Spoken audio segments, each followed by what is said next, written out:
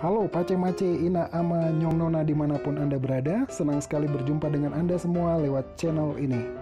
Anda mau membuat desain sederhana yang adalah buah karya sendiri dengan menggunakan Microsoft Office PowerPoint untuk membuat tampilan promosi dagangan atau usaha Anda lebih menarik? Di sinilah tempatnya. Ayo kita belajar bersama di channel ini Channel tutorial anak kampung. Anak kampung dilarang kalah bersaing dengan anak kota dalam hal positif.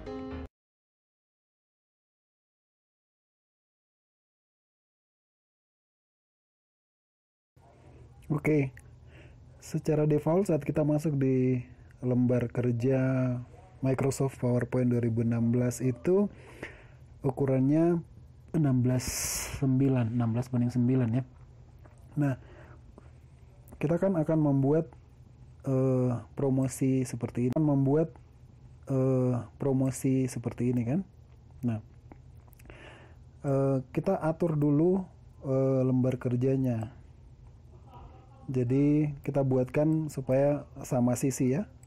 Caranya seperti apa? Kita ambil desain kemudian slide size kita pilih yang paling bawah custom kemudian di sini kita tulis 8,5 jadi biar sama antara lebar dan tingginya.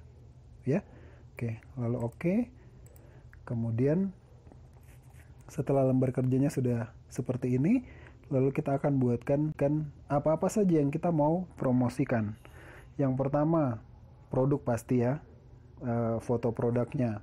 Kemudian yang kedua nama produknya. Kemudian yang ketiga adalah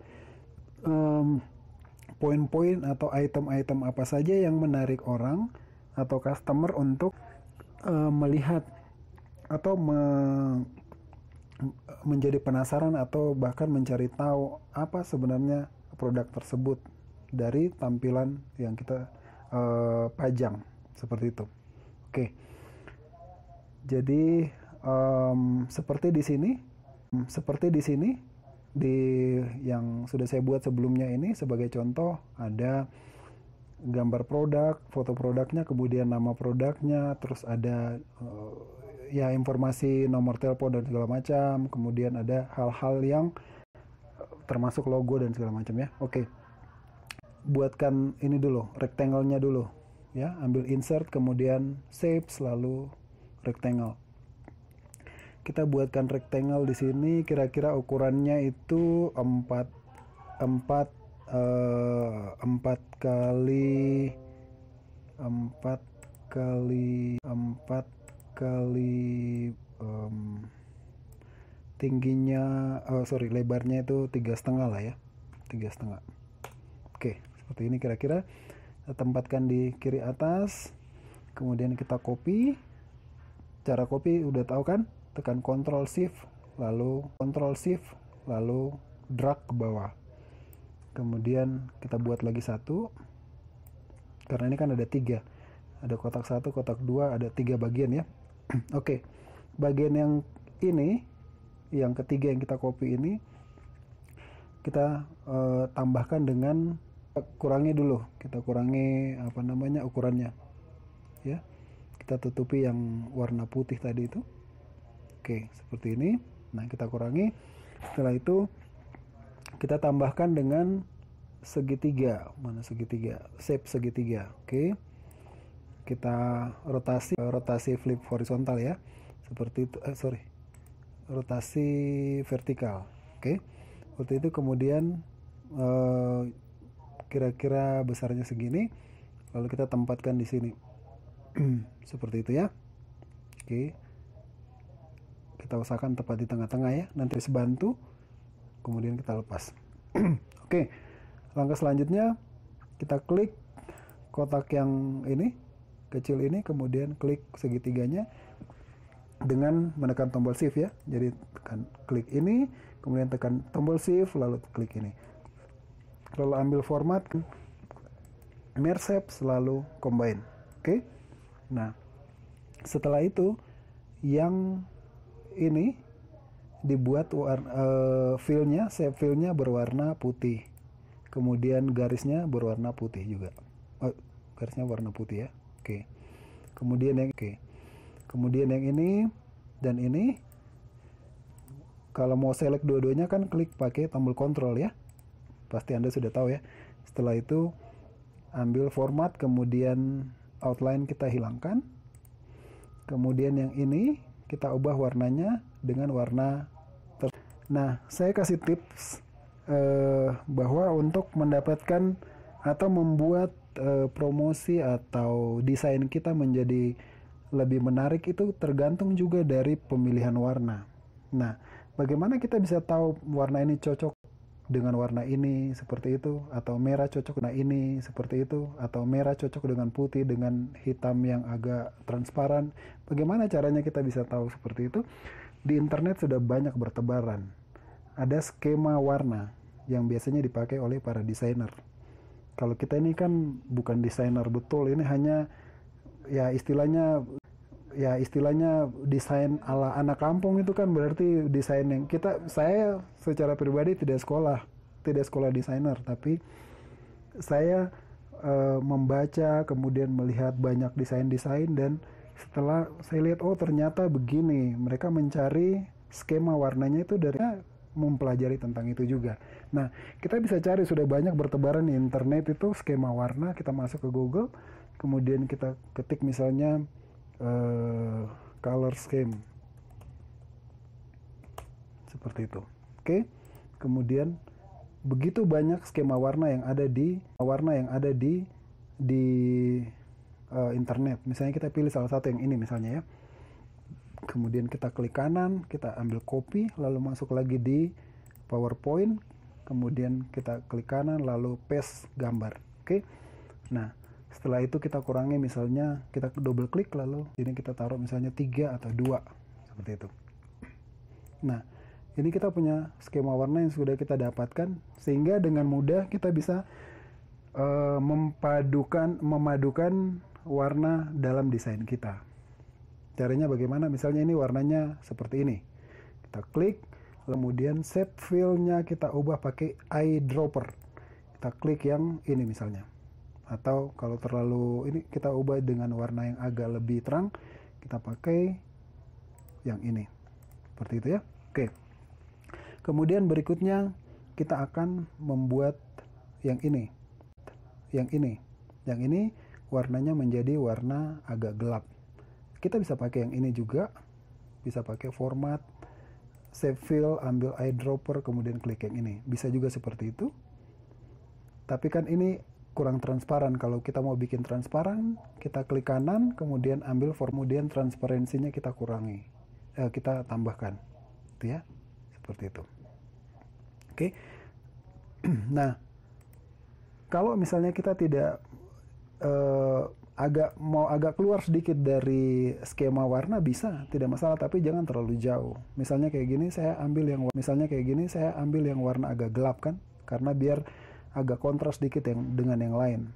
Nah itu saya pakai warna hitam, tapi hitamnya saya kurangi menjadi um, saya ambil juga warna hitam yang tebal, klik kanan, ambil format shape, kemudian uh, transpar uh, transparansinya saya kurangi, gitu.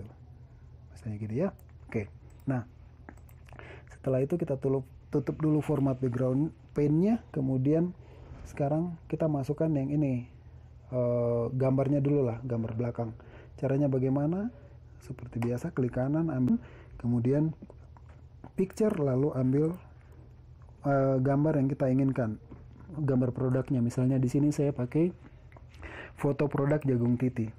Insert seperti itu. Oke setelah masuk kemudian sekarang kita akan membuat tasi misalnya nama berarti kita ambil kita bisa copy dari sini aja ya. Copy dari sini karena kan dia sama ini kan. Tinggal kita ganti apa namanya uh, outline-nya. Ingat cara copy bisa pakai kontrol delta D kontrol D bisa atau kontrol kemudian klik lalu geser. Bisa juga seperti itu. Sama saja ya. Oke setelah itu ini kita kurangi ukurannya terus kita taruh di sini misalnya. Lalu diisi dengan kita ambil edit text lalu kita tulis di sini misalnya titik.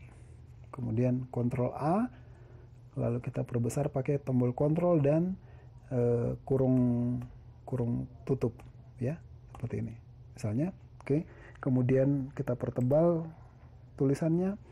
Kemudian uh, shapes-nya ini outline-nya kita ubah outline-nya kita ubah dengan warna putih. Format outline kemudian warnanya putih. Seperti itu. Oke. Nah ketebalannya kalau misalnya kurang tebal kita tambahkan tebalnya berarti ambil outline kemudian ambil weight kemudian ambil yang agak tebal. Seperti itu. Oke ya. Nah nama produknya sudah ada. Nah nama produknya sudah ada. Kemudian kita tambah embel-embel lainnya seperti misalnya ini order now kalau bahasa Inggris mau pakai bahasa Indonesia bisa. Misalnya kita tambahkan insert kemudian teks lalu kita tulis misalnya pesan sekarang. Misalnya pesan sekarang warna-warna uh, putih. Warnanya warna putih kemudian warna teksnya warna putih kemudian teksnya kita ubah misalnya. Oh ya untuk teks untuk jenis font dalam satu desain kalau yang saya ketahui ya ini saya bukan belajar di sekolah desainer. Tapi setelah saya eh, lihat-lihat di YouTube belajar-belajar di internet ternyata bahwa untuk pemilihan teks itu kita gunakan atau jenis fontnya di dalam satu desain jangan terlalu banyak. Kalau paling tidak itu eh, paling maksimal kalau bisa hanya tiga maksimal. Seperti itu kemudian kita bisa ambil dari keluarga dari fontnya misalnya begini saya ambil contoh saya mau pakai yang eh, misalnya mana ya misalnya ini Microsoft Jenghei. Nah, itu ada Microsoft Jenghei. Nah, itu ada beberapa uh, ini kan ada Jenghei Light, kemudian ada yang ini, yang ini, yang ini. Nah, ini merupakan keluarga dari jenis huruf ini. Nah, itu yang kita pakai. Jangan satu pakai ini, kemudian satu berikutnya lagi pakai yang yang lain.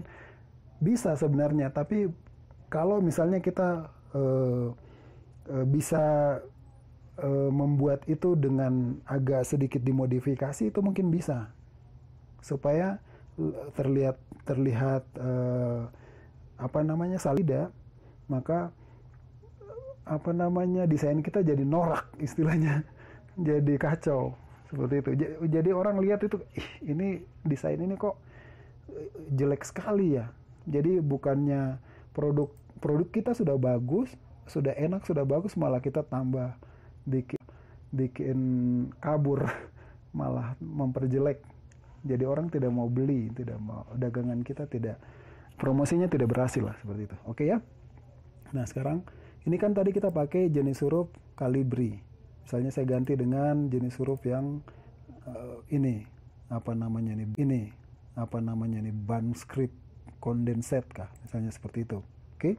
Nah, berarti yang ini juga saya ganti dengan yang mirip-mirip itu. Misalnya kalau itu tadi seperti itu, misalnya saya ambil yang inilah misalnya.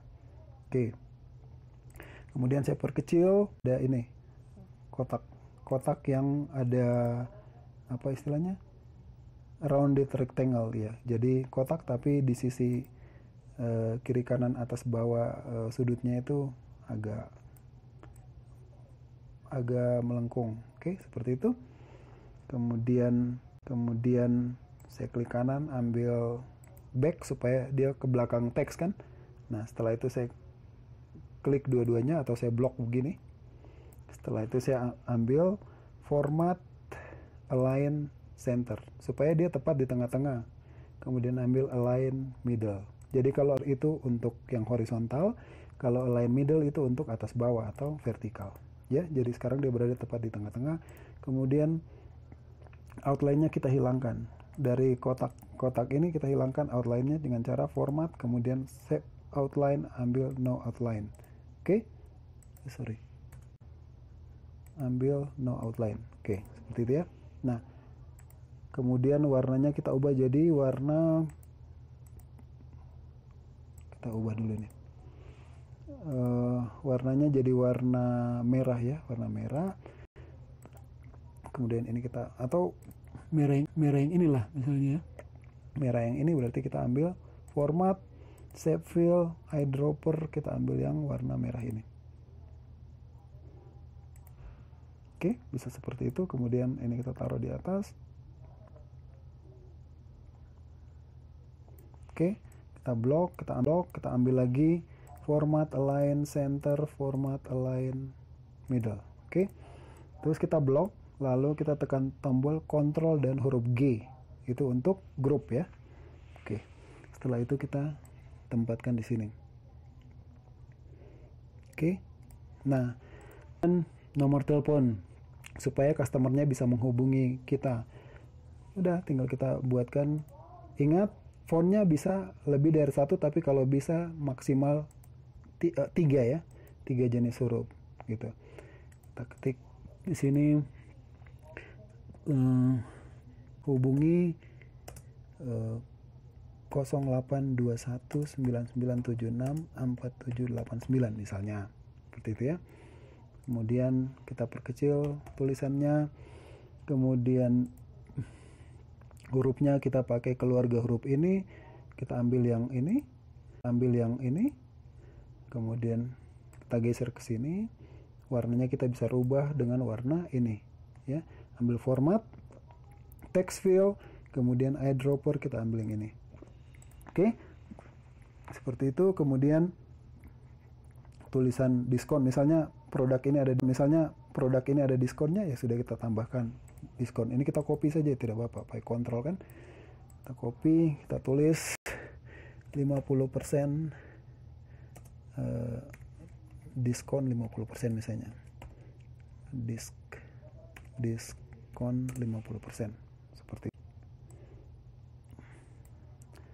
kita naikin sedikit oke.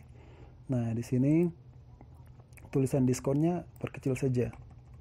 Karena orang lihat itu yang yang mencolok itu adalah orang lihatnya itu yang ini yang yang nominalnya yang 50 nominalnya yang 50 persennya. Kalau diskon itu orang sudah pokoknya kalau sudah muncul ada persen-persen orang tahu oh itu pasti diskon.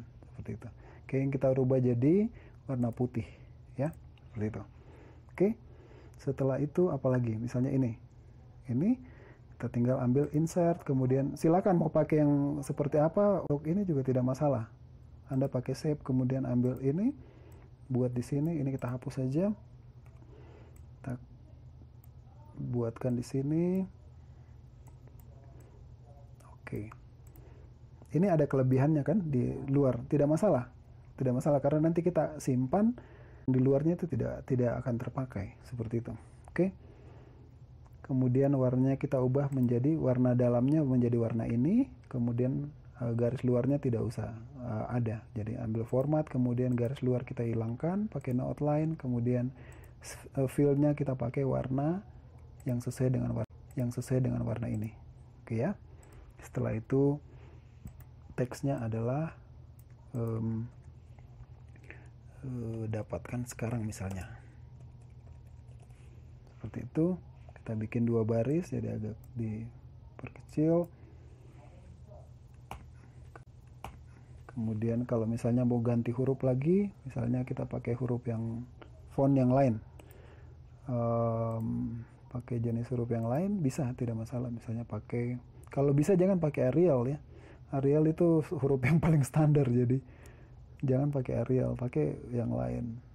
Yang lebih apa ya yang lebih inilah jangan pakai Arial kalau bisa ya tapi kalau misalnya mau pakai juga tidak ada masalah sebenarnya oke okay? oke okay sekarang logo misalnya kita memasukkan logo kalau kita punya usaha ada logo uh, tutorial uh, apa namanya channel YouTube ini saya taruh di sini kemudian colornya saya ubah menjadi warna putih oke okay? kemudian misalnya ada informasi bahwa bisa diantar kayak gitu. Saya tulis misalnya uh, uh, pengantaran jam 8 pagi jam 8 pagi sampai dengan jam misalnya jam 2 siang. Jam 2 siang misalnya seperti itu. Kemudian kita buat rata tengah atau alignment center kemudian pertebal warnanya warna putih kemudian kita tempatkan di sini.